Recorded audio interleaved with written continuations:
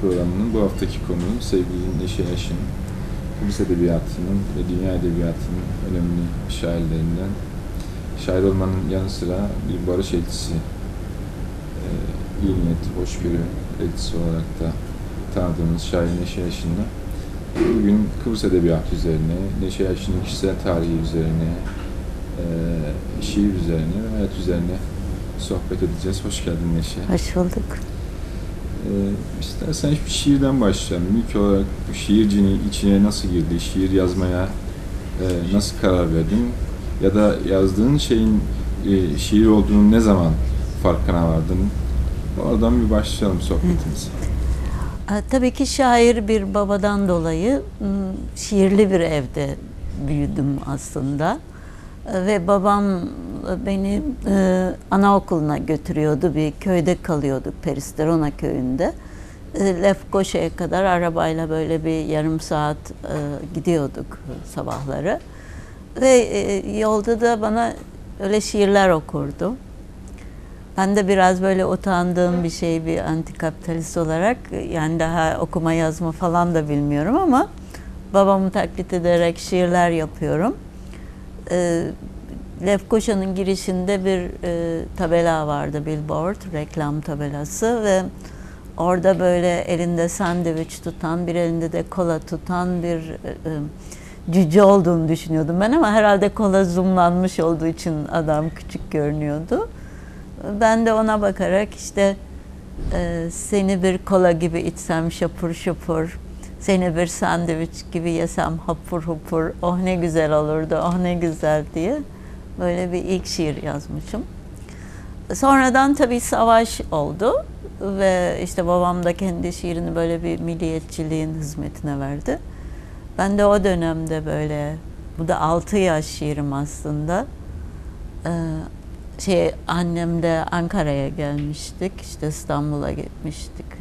Böyle kapılar biraz açılınca geçiş olmuştu ve babaannem hastanedeydi. Onun için Türkiye'ye gelmiştik. Ben de şey yazmıştım. Ankara'da ışıklar yanıyor. İstanbul'da ışıklar yanıyor. Caddelerde insanlar dolaşıyor. Kıbrıs'ta kurşun altında kahraman mücahitler yaşıyor. Bir şey. Şimdi babama gösterdim. Babam şey diyor.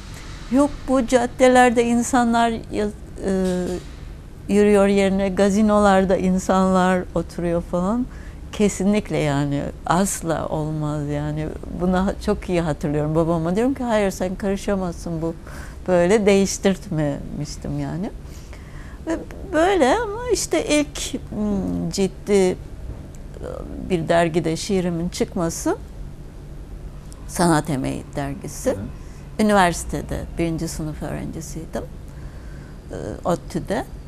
Ve işte Ataol Behramoğlu'nun e, imzası olacak. Bir sanat merkezi vardı hatırlamıyorum şimdi Ankara'da. Ben de şiirlerimi böyle bir deftere yazdım. Üzerine de adresimi yazdım iç kapağına. Ee, ve Atol Behramoğlu'na vereceğim bunu. Görüşlerini alacağım. Böyle bir plan var. Ama o kadar çekingenim ki gittim böyle vermeden kaçtım. Sonra yanımda Gönül isimli bir arkadaşım vardı. Çok kızdı. Kaptı elimden defteri götürdü, verdi Atol Behramoğlu'na. Ben böyle bekliyorum. Bir hafta geçti falan. Sonra bir baktım e, yurtta, e, posta kutumda bir mektup Atol Behramoğlu'ndan. Harika. Ve işte Neşe şiirlerini çok beğendim.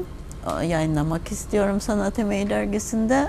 Ama yeni şiirlerim varsa onlardan da gönder ve bana bir biyografi gönder. Ve ben böyle nasıl heyecanlıyım yani Sanat Emeği dergisinde bir şiirim çıkacak falan. Öyle yıl, e, ayın başı gelir gelmez hemen koştum, dergiyi aldım ve 9 sayfa şiirim vardı. Oo. Ve bir de çok güzel bir yazı vardı hakkımda. e, Bir giriş yazısı. Çok heyecanlı bir şeydi yani. Birden böyle bir giriş oldu yani benim için edebiyata. Türkiye'de Türkiye'de. hani bilinmem falan. Peki şöyle bir şey yani o senin e, çocukluğun ilk dönemleri ya da e, çocukluğun tam böyle bir ergenliğe geçme ve fark etme döneminde okuduğun şiirler genel olarak Kıbrıs'taki e, milliyetçi dalganın e, seyrettiği şiirler. Yani o milliyetçi dalgadan kendini nasıl sıyırıp biraz daha toplumsal ölçekte e, duyarlılıkları olan bir şeye nasıl geçtin? Bir de yani baban da e, milliyetçi duyguları böyle çok körükleyen şiirler yazıyor. Yani bir bu inkarı e, ve yatsımayı e, sende belirgin kılan neydi? Evet. Ee, şimdi babamın kitabı vardı öncelikle. Benim her türlü kitaba ulaşma şansım vardı orada. Ama tabii e, okullarda işte böyle milliyetçi şiir yarışmaları oluyor her yerde. Yani çok son derece militarist bir ortamda geçti çocukluğum.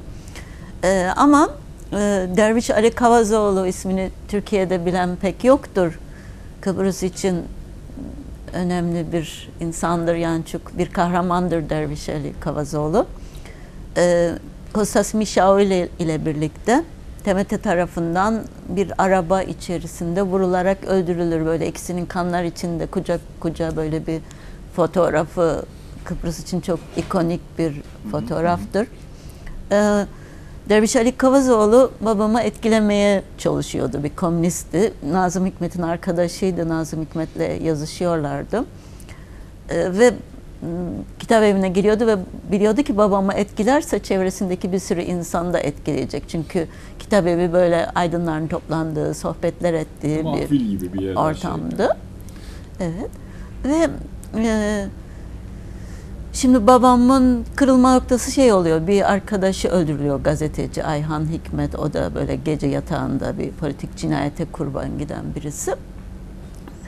E, Kavazoğlu da öldürüleceğinden korktuğu için zaten Rum tarafında daha çok kalıyordu.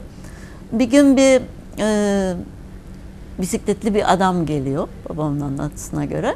Elinde kocaman bir paket var. Paketi babamın tezgahın üzerine koyuyor, bisikletine binip gidiyor Rum tarafına. Bu paketi Derviş Ali Kavazoğlu göndermiş ve 9 cilt halinde e, Nazım Hikmet'in e, Bulgaristan'da çıkan Abidin Dino'nun resimlediği o meşhur kitapları. Onlar benim yatağımın altında dururdu. Kitap evimde tutmamış babam onu hani tehlikeli olduğu için ve ben sürekli onları okuyorum. Şiir nasıl bir şeymiş aslında falan aslında yani Nazım Hikmet'tir. Ve Derviş Ali Kavazoğlu babamı komünist yapmayı başaramadı ama beni e, dolaylı olarak beni etkilemiş oldu böylelikle. Ondan sonra bu Sümbül ve Nergis e, bunun bir ürünü olarak çıktı galiba. Ee, Sümbül'le Nergis e, şöyle, o Atol Berhamoğlu'nun yayınladığı 9 sayfalık şiir içinde önemli bir bölümü bu Sümbül'le Nergis kitabına giren şiirlerdir.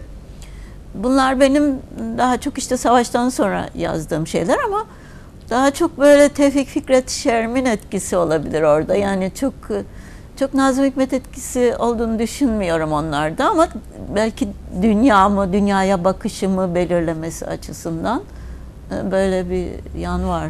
Bir şeyin de Nergis'in de farklı bir e, simgesel boyutu var herhalde Kıbrıs'ta. Ee, tabii bir de benim babaanneme çok düşkündüm. Ben babaannemden sevdiği çiçekti işte mezarına götürdük falan böyle onu. Ee, aslında e, şöyle e, Sümbül'le Nergis böyle kardeştir ya böyle beraber Evet. e, satılırlar falan. Ben de iki kardeş yaratmıştım. iki kız kardeş. Ve o iki, iki kız kardeşlerinden Kıbrıs'taki savaşı anlatıyordum. Savaşın hemen sonrasını anlatıyordum. Bu bir Türkiye'de çok ilgi çekmesinin nedeni bu şiirlerin. Ee, çok farklı olması yani başka bir coğrafyadan başka bir tarihten gelmesi. Ama sonuçta Türkçe Türkçe bir şiir. Ve hiç unutmadığım bir şey var yani saklıyorum tabii o mektubu. Bu e, sanat emeğinde çıkan şiirlerin ön sayfada adım yazıyor. Sonra 9 sayfa gidiyor onlar. Cahit Külebi bunu okuyormuş şeyi babama bir mektup yazıyor. Diyor ki ben diyor kızının diyor şiirlerini okudum diyor şeyde Sanat Emeği dergisinde kutlarım e, sizi falan. E, ama diyor dergiyi böyle tersten bakıyordum. Adında görmedim önce. Sonra dedim ki ne güzel çeviriler yapıyorlar. Ve sonra bir baktım kızının adını gördüm falan çok güzel şiirlerdi falan diye şey yaptı ve sonra hemen zaten beni çağırdı Türk dilinde. Evet. Yine böyle e, savaşların gözyaşları bütün kitabı yayınladı Türk dilinde. Bütün kitabı yani sayfalar dolusu Türk diline koymuştu. Ee, yani çok bu benim çok e, heyecanlandıran bir şey aslında. Ee, Tabii bayağı bir yüksekten şey. Nedeni şu, çeviri şiir demesi. Evet. Yani hem Türkçe ama hem çeviri. Çünkü bizim sonra bu kuşak olarak belki ondan da bahsedeceğiz şimdi hani 74 Evet. kuşağı Red Cephesi olarak e, biz farklıyız tezimiz. Yani hani Türkçe Türkçe şiir yazıyoruz ama biz Türkiye'li değiliz. Hani e, e, başka bir kimliğimiz var Onu birazdan meselesi. diyeceğim, o konuyu birazdan soracağım ama yani tam bu şey dönemindeyiz. Böyle bir 74 kuşağı ya da o Red Cephesi diye adlandırdığınız dönemdeyiz. Sat- Siz çıktınız Kıbrıs şiirine çok böyle muhalif bir e, damar getirmeye çalıştınız. Söylemleriniz değişti, şiirleriniz değişti, imgeleriniz değişti. Daha doğrusu ya bu milliyetçi şiire karşı bir alternatif üretme çabanız Evet. gündeme geldi. Peki nasıl tepkiler aldınız Kıbrıs'tan ve Türkiye'den? Ee, Şimdi biz işte Türkiye'de şiirlerimiz yayınlanınca tabii bu Kıbrıs'ta önemli bir prestij sayılıyordu. Yani benim şiirlerim önce yayınlandı, sonra Mehmet'in şiirleri yayınlandı, sonra Sanat Emeği bir Kıbrıs şiiri özel sayısı yaptı. Ee, Rum şairleri çevirdik, yayınladık falan. Bu dönem inanılmaz bir şeydi. Yani e, bizim yaptığımız e, böyle vatan haini falan gibi damgalamamıza neden oldu. Ayrıca sol da bizi fazla aşırı buluyordu. Yani sol dediğim hani örgütlü ve e, Kıbrıs partici. Türkiye sorunu Kıbrıs'taki şey hani Kıbrıs'taki hassasiyet Rumlar meselesiydi. Yani e, Rumlarla sıfır temas, yoklarmış gibi yaşamak ya da caniler, düşmanlar falan. Ve biz şiirlerimizde Rumların çektiği acılardan bahsediyoruz. Ben bir Rum kadını için şiir yazıyorum. Mehmet yine Rum komşular için bir şeyler yazıyor falan. Bu inanılmaz bir şeydi. Yani işte vatan hainliği meselesi. Sonra bu ana vatan meselesini tepe taklak etmemiz hani bizim ana vatanımız Kıbrıs. İşte benim bu şiirim tabii bu e, hangi yarısını sevmeli insan Evet. şiiri çok e, bu kuşağın e, böyle bir simge şiiri gibi falan. Ee, ve biz bir yazı yazdık Mehmet'le. Yazının adı şiirimiz emperyalizmin bir silahıydı. Biraz komik bir adı var. Ee, ve burada bizden önceki şiirleri eleştiriyoruz. Milliyetçi şiiri eleştiriyoruz. Ee, bir tek Fikret Demir'a biraz sahip çıkıyoruz ama en çok babamızı eleştiriyoruz. Yerden yere vuruyoruz babamızı. Babam da çok sinirlendi. Bir dergide, Olay dergisiydi herhalde. Bir köşesi vardı. Şey yazdı orada. Bir takım kendini bilmez yeni yetmeler, ünlü soyadlarının arkasına sığınıp herkese saldırıyorlar falan. Böyle bize cevap verdi falan. Ve bayağı ortalığı birbirine kattık. O dönemin başba, başbakanı Mehmet Yaşın'ın şiirini, kitabını alıp böyle fırlattı mecliste falan böyle hainler falan diye. Bayağı bir vatan haini olduk o. Mecliste hakkımızda konuşuldu yani Kı- Kıbrıs'ın parlamentosunda. Sonra babamız ölünce hiç unutmuyorum. O parlamentonun önünde bir devlet töreni yapıldı. Milli şairin kızı olmak, oğlu olmak böyle bir şey herhalde.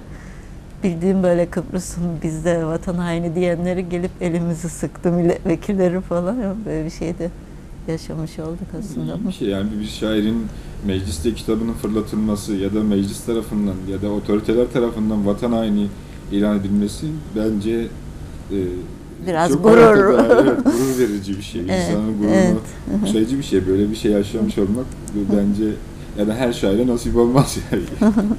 Peki sonra sizin bu e, Red Cephesi'nin bildirisinden sonra e, Rum tarafında yaşayan şairlerle, yazarlarla, sanatçılarla iletişiminiz biraz daha güçlü bir hale mi geldi? Yoksa oradaki o karşıduruk ve tazyik e, kendisini devam ettirdi mi? Ya da sizin bu e, e, manifesto diyelim yani Red Cephesi'nin yazdığı bu manifesto ikili ilişkiler bağlamında en azından yazarlar, şairler ve sanatçılar için bir araya gelme nedeni oluşturdu mu?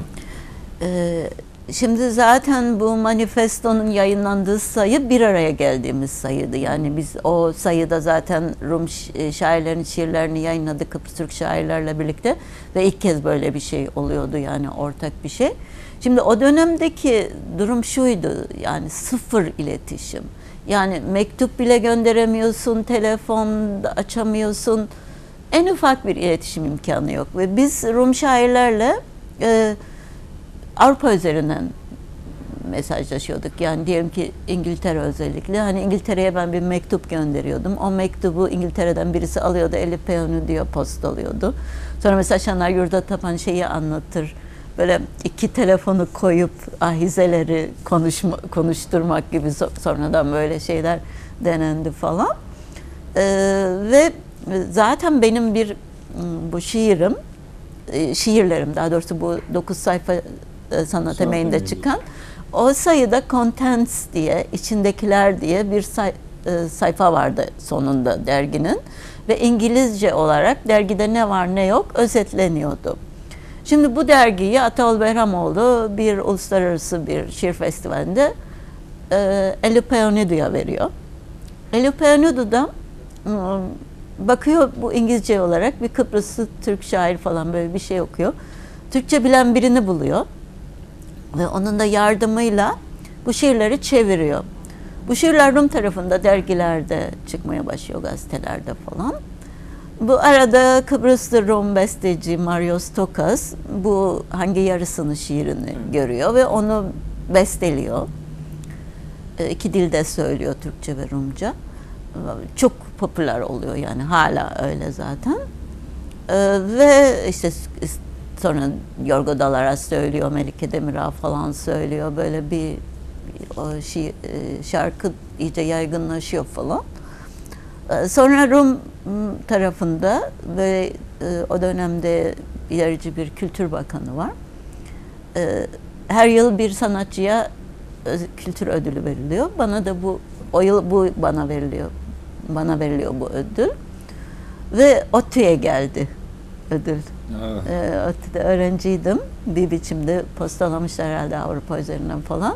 Hatırlıyor, yani böyle bir rulo halinde ODTÜ'ye geldi ben onu camlattım falan filan böyle. Ee, bö- böyle bir e, şey yaşanıyor yani Rumlarla. İşte ben Rum şairlere mektup yazdım. Ee, açık mektup yazdım, mektup yayınlandı falan. Biz ilişkileri sürdürebileceğimiz düzeyde sürdürüyorduk yani biz inadına gidiyorduk yani bunun. Peki bu yani ülkede savaş olmuş, bir ayrışma var. Siz e, Rumlardan kalan evlere yerleşmişsiniz. Yani senin özelinde söylemiyorum, Kıbrıs özelinde söylüyorum. Hı hı. E, kuzey tarafındaki. Yani burada kalan insanlar, e, kuzeyde kalan insanlar Rumlardan kalan evlere yerleşmişler. E, karşılıklı bir çatışma olmuş, silahlar patlamış, işte tanklar girmiş ülkeye vesaire böyle bir ayrışma yaşanmış ve sınır çizilmiş. Evet. Sen de e, hangi yarısını sevmeli insan diye bir e, bir paradigmaya e, bürünmüşsün ve bu ister istemez insanla bir e, parçalanma, bölünme, e, zihinde bir parçalanmaya neden olabilir diye düşünüyorum. Burada e, ikiye bölünmüş ülkede e, sen nasıl bir aidiyet ve kimlik oluşturdun? Ve Evet. bu aidiyet ve kimlik sana nasıl yansıdı? Şiirlerine Evet. nasıl yansıdı?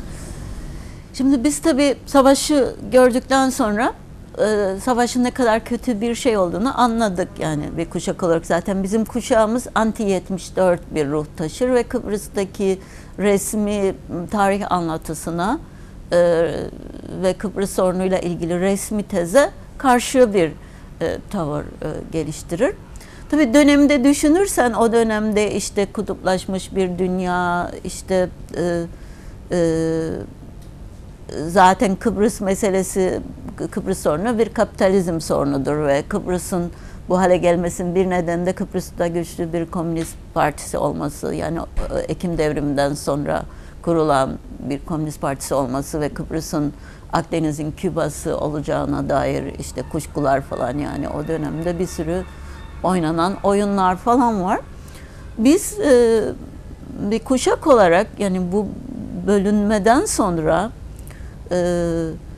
bir uyanış yaşadık tabii E, ve savaşın ne kadar kötü olduğunu, Rumların da nasıl acılar çektiğini gördük. Çünkü daha önce mesela benim kafamda şu vardı. Bizler masumlarız, e, bizler mazlumlarız ve Rumlar da zalimlerdir falan.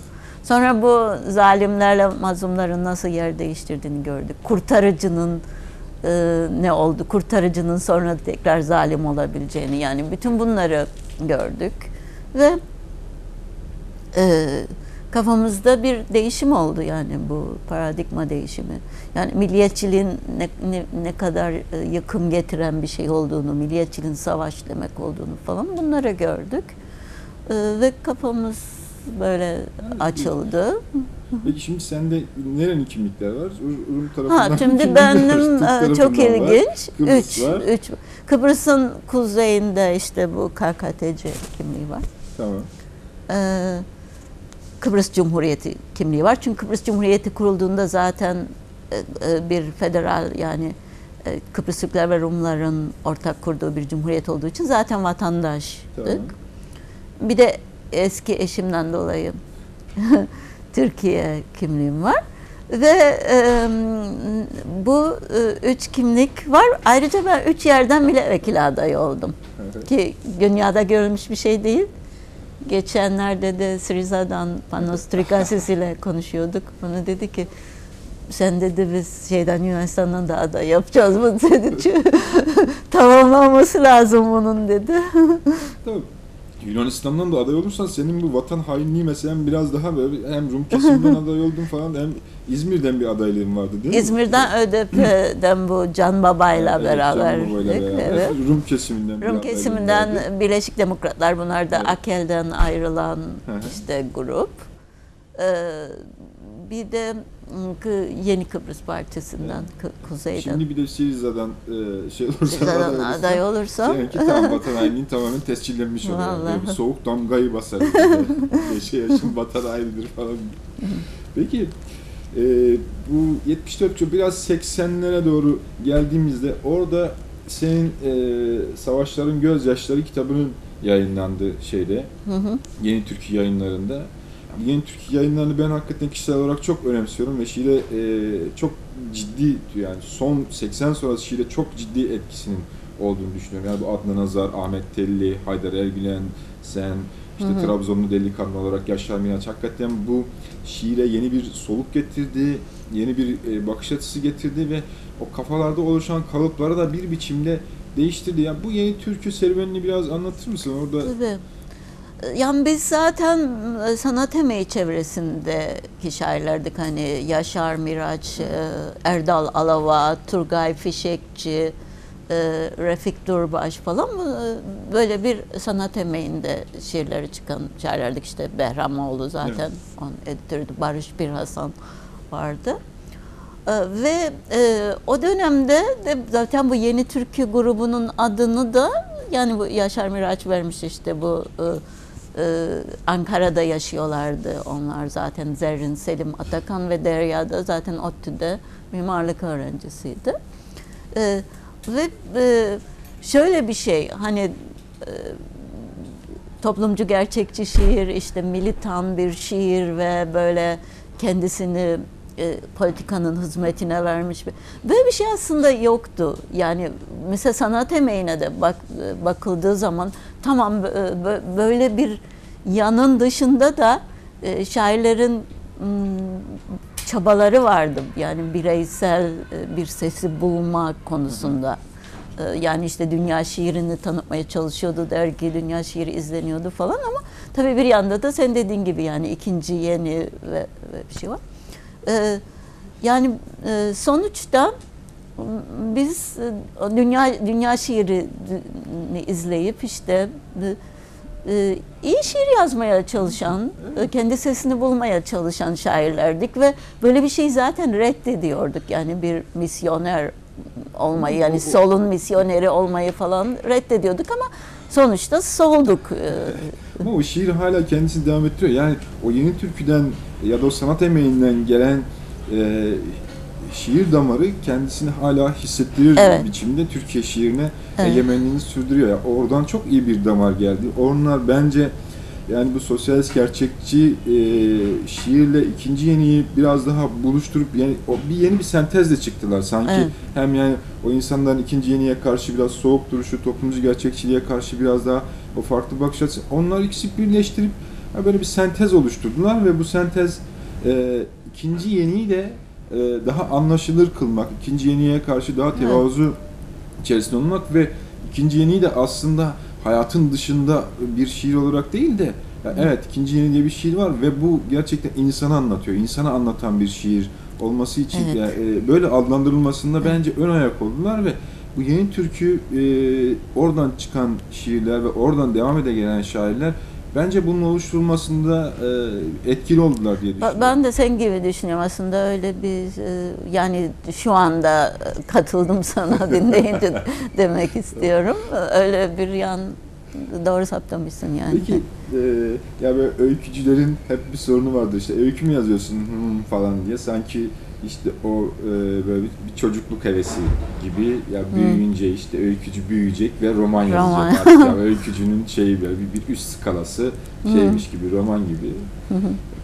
E, son zamanlarda gerçi e, çok iyi öykü kitapları yayınlayan şairler e, var. Bunların öyküleri yani bir şairin öyküsünü okumak da çok enteresan ve keyifli geliyor ama sen bir de e, bir, bir romanın var yani böyle üzgün Hı hı. kızların gizli tarihi hatta e, yani buna böyle bir pornografik göndermeler olduğu iddia edilen de bir kitap. Yani, Yani bu kelimeyi kaldı, kullanmak evet. bile şey Evet, saçma yani aslında.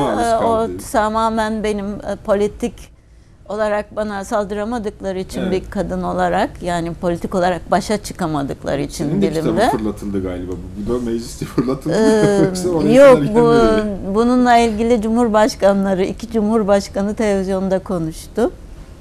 İşte Denktaş'a diyorlar ki işte Denktaş televizyonda diyor ki bu kitap e, Türk ve Rum gençlerinin e, ilişkiler kurmalarını, seks yapmalarını teşvik eden bir kitap. Sonra gazeteci de diyor ki siz okudunuz mu kitabı diyor. Ya okumadım ama herkes konuşuyor ve ben de sipariş ettim gelecek falan. Bu Denktaş'ın böyle bir şey oluyor. Bir de sonra Talat çıkıyor ve şey diyor. Yani şairimiz Talat sonra Cumhurbaşkanı olduktan sonra yeniden saldırılar başlıyor.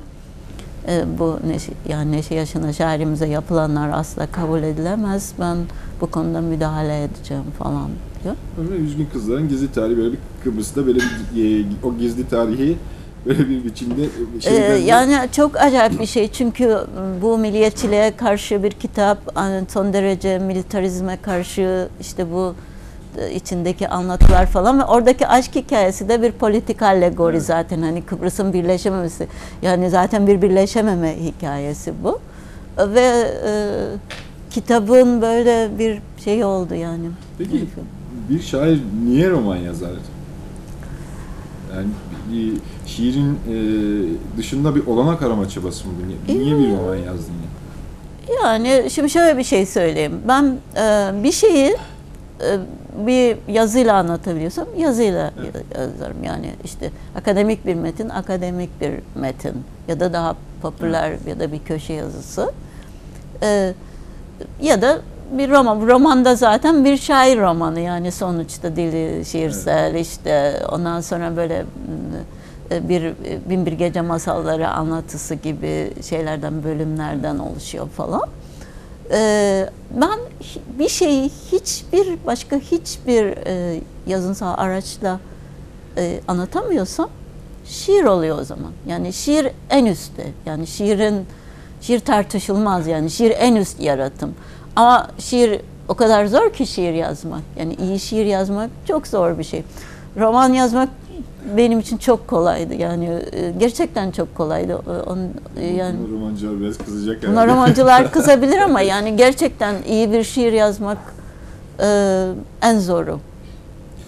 Bir de ya çok uzun yıllardır köşe yazısı yazıyorsun Evet, gazetelerde. evet, evet. Ya, tahmin ettiğim ya 5 yıldan fazla bir O zamandır. 5 yıl değil, mi? 10 Ya, yıldan o- fazla. Yani en azından. Yani hatta daha da öncesi var. Yani kesintisiz 10 yıldan fazla. Daha önce de yeni düzende böyle Hı. 3-4 yıllık bir geçmiş olmuştu da bir günde e, yazılıyordum işte. Ee, sonra 7 yıl falan yazdım bir günde. Hı, Evet her, her pazar Evet, yazıyorsun. her pazar yazıyordum. Sonra aynı yazılar bir süre sonra aynı gün yeni düzenle Yeni de Düzen'de çıkıyordu. çıkıyordu. Sonra bir günü bıraktım, yeni düzenle devam ettim. Devam edelim. Şimdi bu düz yazı meselesinden çıkıp işi biraz yine şiire getirelim. Madem şairle sohbet ediyoruz. Ee, Kıbrıs'ta bu 74 kuşağı Red cephesinden sonra da e, yeni kuşak edebiyatçılar, şairler, e, takım şiir yazılıyor. Orada bu şiirin Türkiye'deki karşılığı e, nasıl buluyor ya da oradaki şiirin e, damarı şimdi 74 kuşağından farklı olarak oradaki şairler ne yazıyorlar? Ve bu Türkiye'de nasıl karşılığını buluyor? Ee, Şimdi ben yazmıştım zaten yavru edebiyat Evet. değiliz diye. Bu Kıbrıs'ı Türk edebiyatı kavramını ilk kez bizim kuşak e, kullandı. Zaten e, işte Londra'da Edebiyatta Kıbrıs'ı Türk Kimliği diye bir e, sempozyum yapmıştık ve e, ondan sonra bunun kitabı da çıktı hem Türkiye'de hem de İngiltere'de İngilizce ve Türkçe olarak. E, bu e, e, daha önce bizden önceki kuşaklar yani babamların kuşağı falan kendilerini böyle Türk edebiyatının bir parçası olarak Türk edebiyatı diyorum Evet. özellikle bir parçası olarak görüyorlardı. E, sonradan e, mesela Mehmet Yaşlı'nın başlattığı bir tartışma var. Edebiyatı nasıl kategorize edeceğiz? Yani dil üzerinden mi kategorize edebiliriz? Türkçe yani diyelim ki Türkiye'de yani Türk sonuçta bir etnik kimlik. E, ve e, Kürtler var yazan çok farklı etnik gruplardan insanlar var falan. E, tabii bu kategorilerin çok da anlamı yok mesele edebiyat olunca. Yani sonuçta e, her bir edebiyatçı kendisi bir kategori bence yani o öyle olmalı diye düşünüyorum. E, sonradan tabii Kıbrıs'ta hmm, üretilen e, şiirler hani Rumlarla da işbirliği içinde ortak antolojilerde yer aldı. Ve m, okunduğu zaman da mesela bizim şairlerimizin şiirleri Türkiye'de benim bu başta söylediğim Cahit Külebi'nin hani çeviri şiir gibi algılaması falan farklı bir şiir. Yani mesela ben Fikret Demirhan'ın da Türkiye'de çok anlaşılmadığını düşünüyorum. Hatta benim Fikret Demirhan hiç haberi yoktur. Yani ben İlhan Berk'le böyle saatler boyunca bir Fikret Demirhan konuşması yaptım. Çünkü anlamadığını fark ettim Fikret Demirhan ve tekrar okuyor İlhan Berk ve hatta Fikret Demirhan bir mektup yazıyor bunun üzerine. Ee, çünkü neden? Farklı bir coğrafya, farklı bir tarihten geliyor, farklı bir mitoloji kuruyor falan. Ee, bütün bunların Türkiye'de anlaşılması biraz zor. Mesela narratif şiir yazılıyor daha çok Kıbrıs'ta. Ee, yani böyle bir yan da var. Çünkü biraz daha Anglo-Sakson etkisi var. Çünkü sonuçta e, sadece İstanbul değil merkez yani Londra'da, Londra'da, İngiltere'de bir başka Kıbrıs var ve Kıbrısların sürekli bir başka merkez olarak orayla da ilişkisi olmuş. İşte yabancı dil biliyor Kıbrıslılar işte İngilizceden direkt şiirler okuyabiliyorlar falan filan. Ee, ama Türkiye'de zaten belli kutup e, kamplaşmalar var. İşte e, bir şair bir yerde konumlandırılıyor. Ne, kimin takipçisi, işte hangi damara ait falan filan diye. Kıbrıs ise bunun dışında bir yerde. Çok dışında. Ee, kaynakları çok farklı. Ee, farklı bir e, e, mitoloji var, farklı bir etkileşim var falan. Ee, bütün bunlardan dolayı bir e, Türkiye ile böyle bir bir yandan da bir gerilimli bir ilişki var yani şey hani politikada olduğu gibi bir başka geril- gerilimli ilişki var. Bir şey söyleyeceğim. Ben Ziya Ormancıoğlu'nun kitabını okuduğumda yani garip şiirine çok yakın bir şiir. Fakat orada bazı sözcükler vardı. Mesela polise düştük demiyor ya da karakola düştük demiyor. Polislendik diyor. Ya da işte Gürgenç'in e, şiirlerini okuduğumda özellikle bu Sakangur'da son kitabında e, sizin orada kullandığınız ya Kıbrıs'ta kullandığınız bazı sözcükleri artık kitaplara yani şiirlere girmeye başladığını fark ediyorum.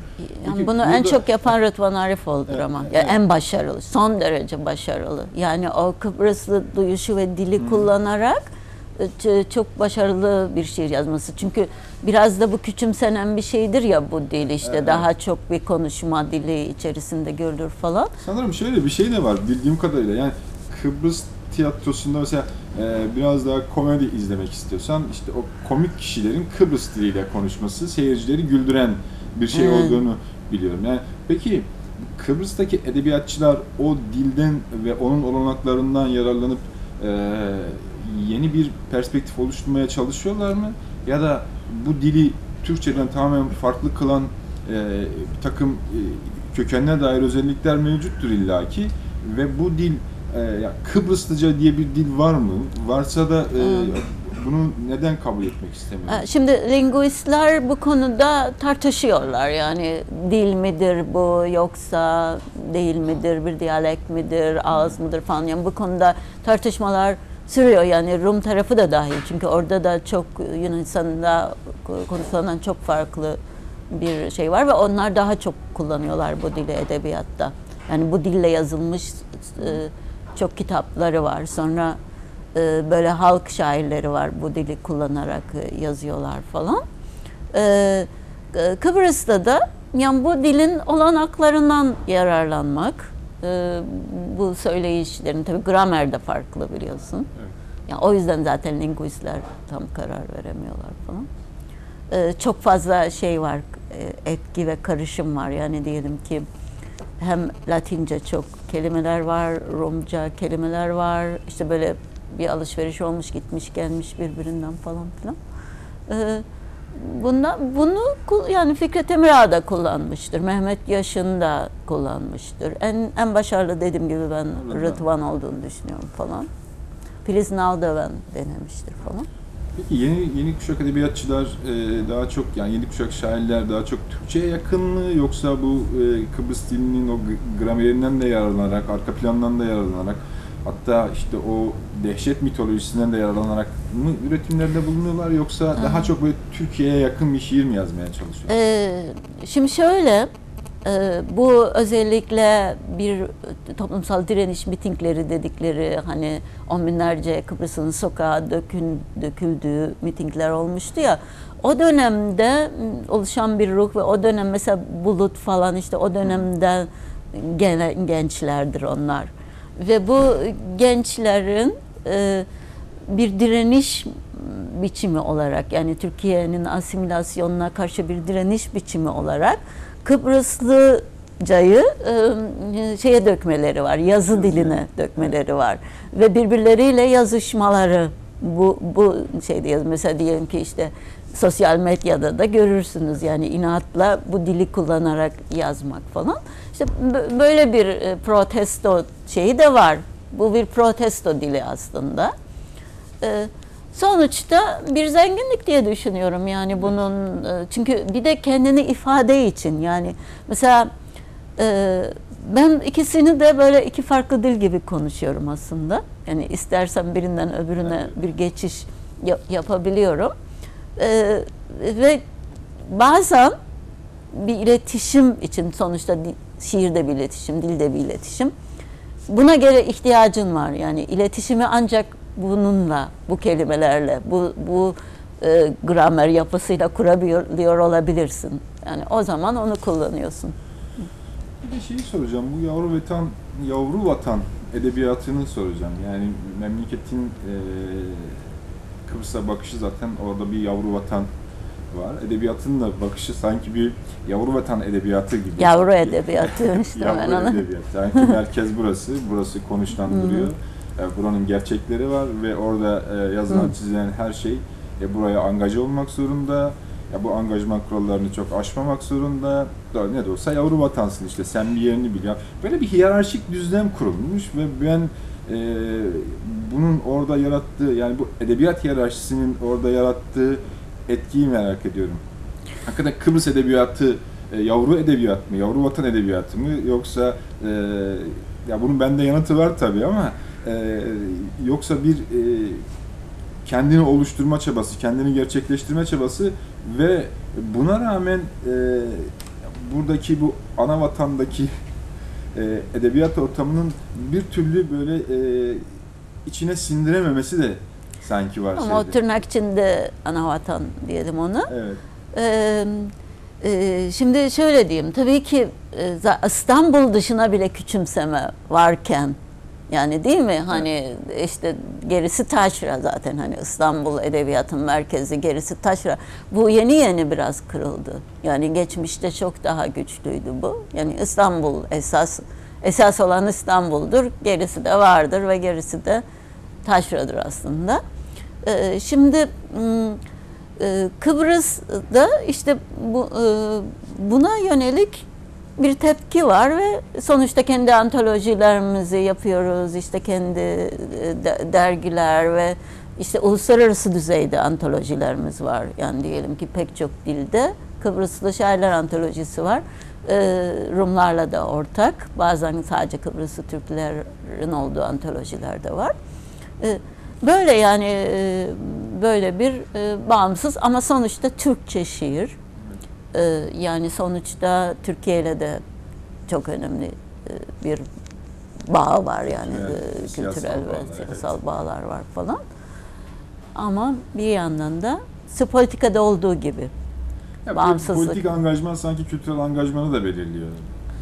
Ya işte Evet. farkında olmadan yani bu politik Evet. angajmana karşı olan insanlar e, farkında olmadan sanki o kültürel angajmana e, dahil olup bu politik angajmanın e, düşünsel altyapısıyla orayı değerlendiriyor gibi ama aslında sanki biraz daha yakınlık kursa, biraz daha ilgi gösterse, ya Kıbrıs edebiyatına dair biraz daha fikir edinse, Kıbrıs'taki sanat ortamına dair biraz daha fikir edinse, biraz daha farklı bir biçimde düşünecek. Mesela ya ben Türkiye'de zannetmiyorum ki Kıbrıs romanına dair e, bir fikir oluşturulmuş olsun ya da Kıbrıs Hı. öyküsüne dair bir fikir oluşturulmuş olsun. Yani orası çok kör alanları insanlar. Ben çok kör Ee, kaldığımız yer. Küçümseme de var sonuçta küçük bir yer falan yani sonuçta hani e, şuna da bakılıyor yani sonuçta orada minör bir e, edebiyat mı var hani e, politik bir sorun var bir e, sorunlu bir yer ve e, oradan e, dolayı da hani küçümseme de vardır yani sonuçta Tabii. Türkiye ile Türkiye Kıbrıs Mıbrıs yani bu hiyerarşi her alanda var yani gittiğin zaman uluslararası festivallere bir bakıyorsun yani bü- büyük Avrupa ülkeleri sanki oradan gelen şairler daha önemli falan gibi bir bir şey oluyor yani her zaman ki bu hiyerarşi e, maalesef var hayatta. Şeyde e, tam bu kapıların açılmasıyla birlikte ya da o sınırın açılmasıyla birlikte e, tabii çok daha e, ciddi bir kaynaşma olduğunu düşünüyorum. Yani Rum tarafında yaşayan e, edebiyatçılarla şairlerle Türk tarafında yaşayanlar arasında ortak nasıl çalışmalar yapıyorsunuz ve bu çalışmalar işte bu barış görüşmelerini nasıl etkiliyor? Ya da barış görüşmelerine nasıl müdahale ediyorsunuz? İki Hı. e, farklı kutuptan insanlar, kutup demeyelim de buna. Yani Rum tarafında ve Türk tarafında yaşayan şairler olarak nasıl müdahale ediyorsunuz? Örneğin antolojilerden bahsediyorsunuz. Ö- öykü antolojileri, şiir antolojileri, işte Evet. dergilerde birlikte yazıp çizmeler. Bunlar gündelik hayata nasıl yansıyor ve politikada bir belirleyiciliği var mı Kıbrıs'ta bunun? Ee, Ben mesela Kıbrıslı Türk şairlerin özellikle e, bu barış diline çok büyük katkı koyduklarını düşünüyorum. Yani geçmişin bu düşmanlık gösteren çatışma paradigmasını ters yüz ettiklerini falan düşünüyorum. Rumlarla kurulan ilişkiler dediğim gibi en zor dönemlerde kurulmuş. Şimdi artık bu çok sıradanlaşmış bir şey. Hani sonuçta görüşülebiliyor bir Rum, Rum şairler gelip okuyorlar ama biz geçmişte bunun için çok büyük mücadeleler verdik yani. Ee, şimdi e, şöyle bir şey yani sonuçta ed- edebiyat e, politikanın dilini rezil eden bir şey. Yani bu ne, ne bunun ne onun ne rezil bir dil olduğunu gösteren bir şey daha doğrusu. Rezilliğini gösteren bir şey.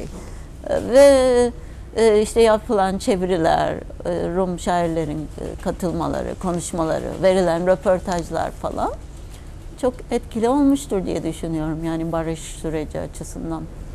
Kim olmuştur? Peki yine böyle, e, böyle programın sonuna doğru geliyoruz. Neşe Yaşın şu sıralar ne yapıyor, ne yazıyor, ne çiziyor, neyle Evet. meşgul?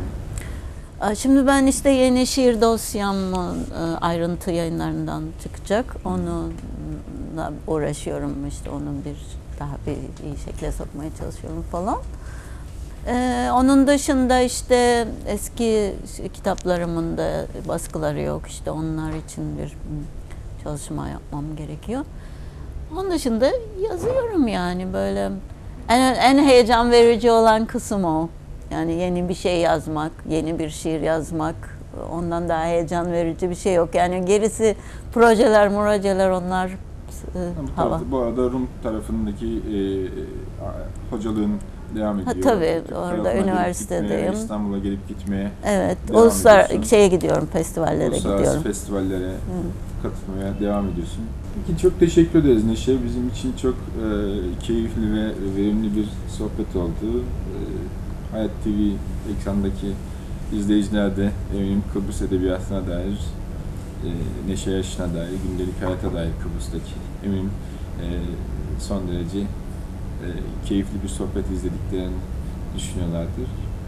E, zaman ışık kelimelerde bugün Neşe Yaşın'ı ağırladık. Kıbrıs Edebiyatı'nı, özellikle 74 kuşağı Red Cephesi'nin e, milliyetçi bir şiir akımına karşı çıkışı, e, onun dışında e, Kıbrıs'taki Türk ve e, Rum tarafındaki e, yazar ve şairlerin bir araya gelerek barış dilini oluşturma çabaları, Neşe Yaşın'ın e, kitapları e, ve yazılarına dair sohbet ettik.